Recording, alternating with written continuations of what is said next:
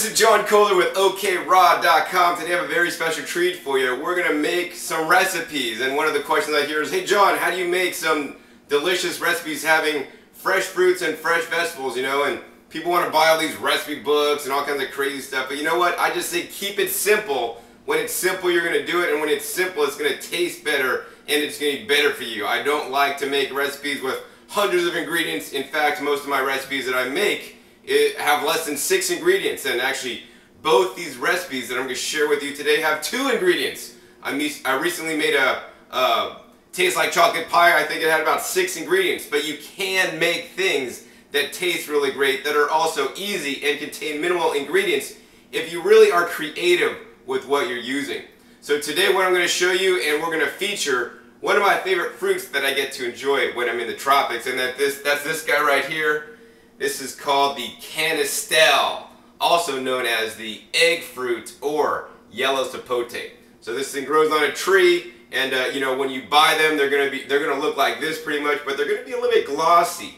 And as they ripen up, it's gonna turn a little bit more dull. So uh, these ones got ripe, so I put them in the fridge so that they'll last. And you don't want to remove the fruit from the skin uh, if you do, then the fruit's not going to last as long. Uh, you know when these guys are ripe, when it's kind of soft like an avocado.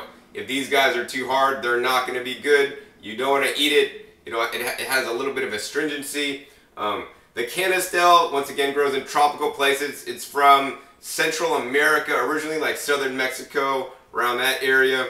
Uh, these guys are absolutely delicious. The reason why they call these egg fruit is because they have a texture of a hard-boiled egg.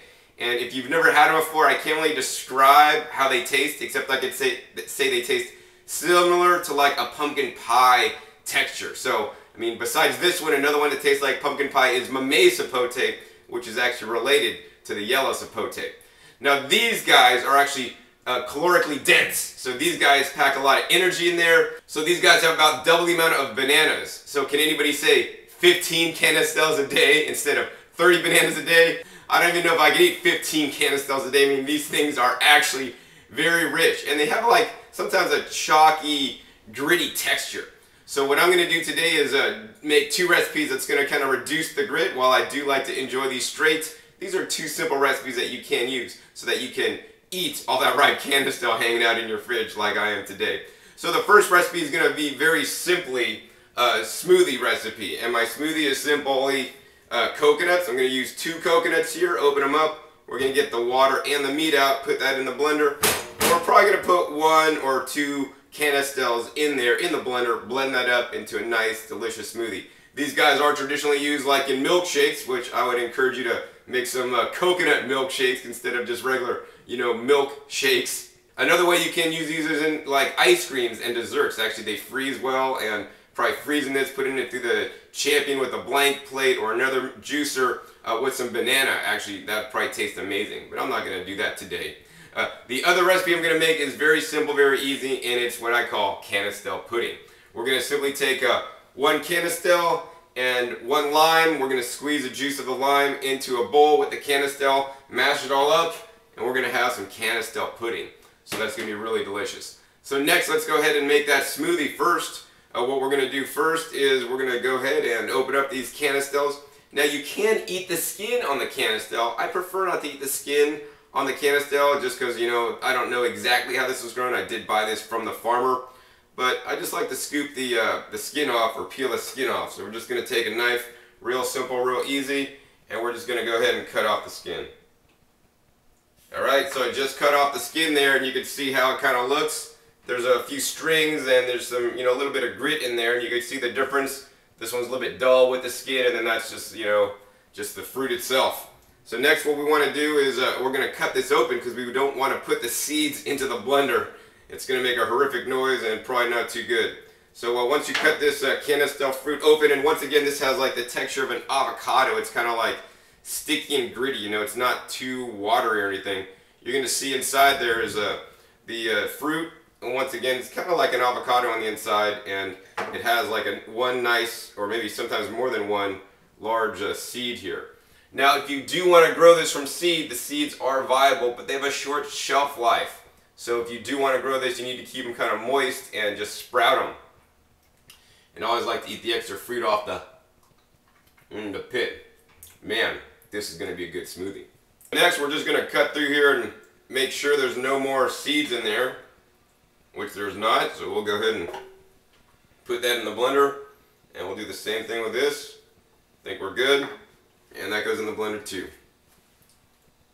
Next, I'm going to go ahead and uh, put one more Canistel in the blender, and then we're going to go ahead and open our coconuts. So here's our second D-Skin uh, yellow sapote. We're going to go ahead and cut that open. And then this one, actually, I think there's a two seeds. There's one. And there's two seeds. And this one's actually a little bit, you know, I don't know, maybe almost overripe, but not quite uh, yet. So we're to, you know, blend this up. I definitely like to blend up overripe fruits. You know, sometimes I don't like to eat overripe fruits. The texture's a little bit off, but when you blend it up into a smoothie, that's an excellent way to get it down. And uh, also increase the liquid availability in the fruit. And in this case, because it's kind of a chalky, uh, you know, hard-boiled egg-like consistency, adding another liquid to it, in my opinion, is a good idea. Next, we get to open the coconuts. Let's go ahead and we'll move this cutting board out the way. And now opening coconuts are, you know, is a video in itself. I'm not going to really demonstrate that in this uh, video. But what I can say is that depending on the coconut, the age of the coconut, if it's really young or more mature, I have different techniques of opening uh, the coconut. But what it also relies on is the tools I have available. So I'm currently traveling and I'm not carrying my machete and other coconut tools with me. So I have only what's available here at the place I'm at and we just have a standard Ginsu knife. So That's what I'm using today to open the coconut. You know, I have even co opened coconuts with no knife and no tools in the airport. So if you haven't already seen that video, be sure to check that one out. You will be in for a good laugh. Nonetheless, I'm going to go ahead and open these up really quick with my standard Ginsu knife and uh, put the water in the blender.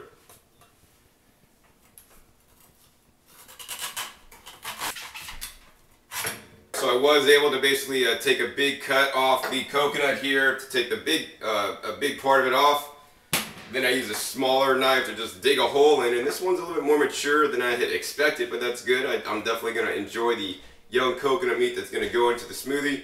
And we're going to take a strainer, put that over the uh, Vitamix and just pour this in and this is slowly going to leak out. While that's draining out, we're going to go ahead and work on the next one. Alright, so we got that piece off. Now the goal is just kind of to poke around here and dig out the middle to get all the water out. This one might be just a little bit younger. Alright, so I was able to make two holes. One's the air hole and one's the hole where all the coconut water is going to come out. I think this one is drained sufficiently. Alright, really nice. Next, we're going to go ahead and pour this one out. This one's going to have a lot of water. Look at that. Now the next part is to crack this thing open, which I'll probably go outside and beat it on the ground. I decided to show you guys what I'm doing out here. I just uh, basically busted open one coconut on the ground to open it up. And uh, now we're gonna do the second one. Basically, I'm just taking it and, uh, uh, look at that. Look at how easy this thing open, opens up right there. So I did what I did to do this. I did cut off the top and I cut off the bottom because that's what holds the coconut together. It's like a keyway. And then I did put a slice in it this ways and then along like the uh, equator but the opposite direction and then I just smashed it and it actually opened up fairly nice and easy. So you don't gotta like be throwing these against the ground all crazy man style like I did in the airport if you have some tools to help you out. Now let's go inside and uh, put this delicious coconut meat into our smoothie. We're back inside with the coconut and I just simply wash this out really quick because you get shell fragments and things that are not going to blend too well and not too fun when you're you know drinking your smoothie and there's big chunks of stuff. So simply wash that out. We're going to go ahead and take our strainer and you know I use a strainer for a reason because if you just dump the coconut in over the blender craft you know you're going to end up with once again some shell fragment, fragments that are not fun to have in your smoothie there. So next we're just going to simply take a spoon and we're going to scoop out all this nice, rich, delicious jelly meat. So this is like a spoon meat, and I mean this meat is incredibly young. It's nice, soft, and succulent. And uh, it's going to add a really nice milkshake type texture to our smoothie. So uh, go ahead and scoop all this stuff in there. So here's the meat of the third half of our coconut. And uh, finally have this last half. Now you might be wondering, hey John, you know I can't get those uh, Florida coconuts like the young ones you get in the husk where I live. What coconut should I use? Well, that's a good question. You know, I think I have other videos talking more about coconuts actually because coconuts are one of my favorite foods. Let's see, so normally in your area the best coconut to use for this texture would be the Thai coconut, the young Thai coconuts. They're often available at Asian markets, sometimes also your local Whole Foods or specialty grocery store that carries a you know tropical fruits. Uh, they can get quite expensive depending on where you buy them. I generally buy those at the uh, Asian markets by the case, where I find they're actually less expensive. Uh, let's see, you also can use besides the Thai coconuts, which look like a little yurt. So for those of you that don't know what a yurt is, it's like a little teepee on top with like a, a, a round um, cylinder on the bottom. So they look kind of funny, and I have videos on how to open those guys as well. You can also use the Mexican coconuts. So the Mexican coconuts are usually either brown, which we know is what coconuts are. And I don't recommend those too often. Most times those ones, the, the water is kind of going nasty and the meat's actually really thick and you would not want to put all the meat into this smoothie. That would wreck it. But you can use the white Mexican coconuts, which I also have other videos on those are my favorite. And what I'll do on those is I'll use all the water out of those and then I'll just take a very simple scraping or a light scraping of the meat on the inside because the meat is more mature and when the meat gets more mature has a higher fat content. Now there's nothing wrong with whole food sources of fat such as coconut meat versus you know eating coconut oil. Coconut oil is 100% fat, about 120 calories per tablespoon. Whereas in the coconut meat, you know, you are getting some levels of the fat, but there's also fiber and other nutrients, in my opinion, that are good for us. But nonetheless, I, I recommend that you actually don't overeat your fat. You don't, because if the more fat you eat, the slower you get. Because it just kind of clogs you up a little bit. So in general, I recommend a fat percentage of total calories, um, you know, anywhere between 10 to 25 at the absolute maximum. I'd like to see more like around the 15 to 20 range is kind of what I eat. Sometimes I'll eat zero overt fats in my diet and sometimes you know I'll have days where I eat a little bit more and you know that's based on the food availability and the best food that's available to me and also what my body feels like that day. So uh, there we go. That'll do it. So once we got the uh, coconut water, the coconut meat, and the yellow sapotes or egg fruits in there. We're just going to simply blend this up. So there we go. I think that's all blended up really nice. You want to just blend it enough to get that coconut meat fragmented up and actually just it blends into like a creamy texture. I want to show this to you guys. Check it out here. I mean, check out this texture. Look at that. Look at that color, man. I mean, literally it looks like a hard-boiled egg. I mean, these are some rich pigments. Actually, this the uh, sapote is actually really rich in provitamin A or the carotenoids. And it's the carotenoids that provide us the antioxidants that are really good for us. So once again, I'd like to encourage people to eat foods of all different colors. And this one's actually a nice bright yellow. And for a second, I want to talk about protein. You know, people always say, hey John, how do you get your protein on a plant-based diet? Well, guess what? These yellow sapotes or egg fruits have about as much protein as an avocado. So even fruits contain protein and the leaves, definitely you want to eat your leaves. Leaves are high in protein, 50% of protein by calorie. So they have a lot of protein as well. But anyways, uh, I'm going to enjoy my smoothie and then we'll be back at you in a little bit to make our egg fruit pudding. Mmm. That's about as thick and creamy as one of those milkshakes you get at a fast food joint but I guarantee this one's 100% healthy. So I just drank about three glasses of this smoothie, man. This stuff is the bomb, but you don't have to take my word for it. I have a special guest on the OK Raw show here, and he's my good friend, Paul Nison. And uh, actually, we're spending some time here with Paul at his tropical retreat down here in South Florida. And, uh, you know, I'm giving an extra one to Paul so he could tell you what he thinks of the Canistel and the egg fruit. Wow, this is one of the first fruits I've tasted when I came to South Florida. My friend had one, and the first tree I got in my yard was an egg fruit. Have you gotten a lot of fruits off that yet? Uh, actually, it takes a while, so I haven't gotten off mine, but I've gotten many off my friends. All right, These cool. are great, so I'm looking forward to this. This thing is the bomb. Once again, it's only two ingredients, young coconuts and canistel. You can keep it simple and... Wow, it's amazing. stuff is amazing, amazing, man. Wow. You Gotta come here to South Florida to just try that. Look at that, man. That's just rich in antioxidants. Alright, so up next, we're going to make that Canistel pudding. I'm sure you would agree, just like Paul, he loved that egg fruit smoothie, and actually so did I. Next, we're actually going to make something that was inspired by Paul, because he, you know, eats a lot more egg fruit than I am living here in South Florida. I get to enjoy it when I'm visiting, you know, uh, South Florida, or maybe places like Hawaii or other tropical areas. So uh, what we're going to do is inspired by Paul. He said, hey John, you could eat that egg fruit like with some lime, squeeze some lime juice over it, you know, much like some people eat papayas, you know, to make it taste better. Because, you know, egg fruit can have like a nice chalky, you know, flavor, and actually it's, it's actually really rich, much like a pumpkin pie. Like, I don't know how many people that could eat a whole pumpkin pie to themselves, but eating egg fruits just by themselves, like I think I ate about two the other day, and, you know, I was about finished. That was about all I could handle. So I had a two in here, had the smoothie myself and some for him, and now we're going to make an egg fruit pudding. So, uh, so instead of like drizzling the lime juice on the egg fruit and eating it, you know, if you do that, the lime juice kind of gets all over, it doesn't quite mix well. I made an egg fruit pudding and all I did was simply, we're going to open up the egg fruit, put it in a bowl, uh, juice some lime, squeeze it on top in there, and just mix it all up into a nice delicious pudding. Now the benefit of this pudding is that it will save a day or two in the fridge because you are adding some of the citric acid from the lime. It helps to preserve the nutrients and keeps the food fresher longer. That being said, I would always encourage you to make every meal you eat fresh. So make your food fresh and make enough to eat that meal. Most of the time I do that. Sometimes I will have leftovers, so check my other videos for an excellent video on what I do with my leftover salads. That was a really cool video. Uh, so I, I guess without further ado, let me show you how to make this recipe. Uh, the first thing we're going to do is uh, you're going to take uh, basically one small egg fruit for one small lime because this happens to be a larger egg fruit. We're probably going to use two limes today. So I'm going to add one lime in now and then one lime in later. So when picking a lime, it's very important. You want to get the nicest, uh, lightest, yellow-ish colored lime as possible. You don't want to try to get the dark green limes. They're not quite ripe. You want to get them when they're turning.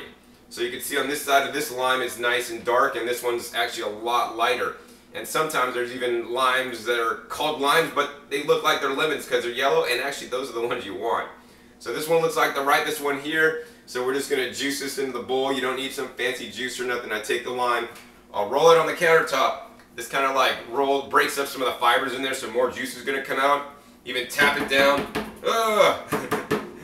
and then uh, we'll just basically cut it in half. Luckily this one doesn't have any seeds, Mmm, hey limey! And then we're just going to squeeze the juice into our bowl here. Now it would help if you had a lime squeezer. If you're really anal, you could actually put this in like a nut milk bag and just squeeze the bejeebies out of it. And uh, you know, you won't get any pulp. But I like the pulp, you know, it will give this uh, recipe some texture.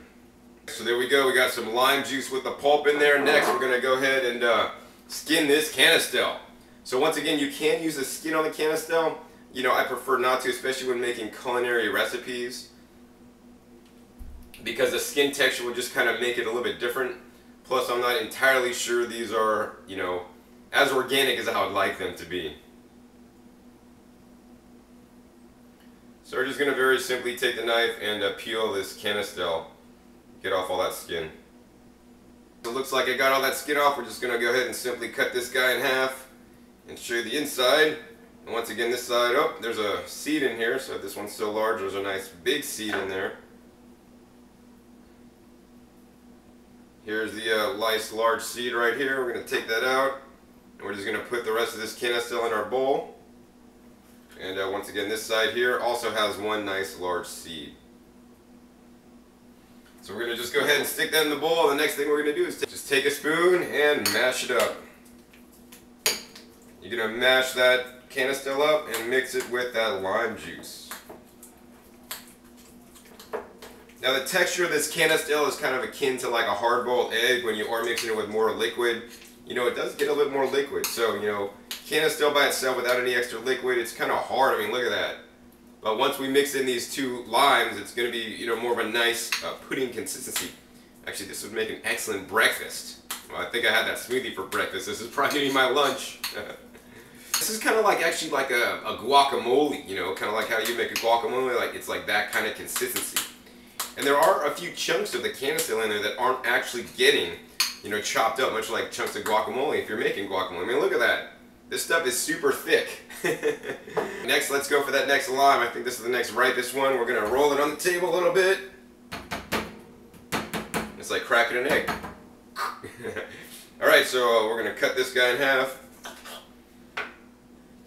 And we're gonna squeeze that juice out. Oh, I like to squeeze the juice. Give me some juice, you limey.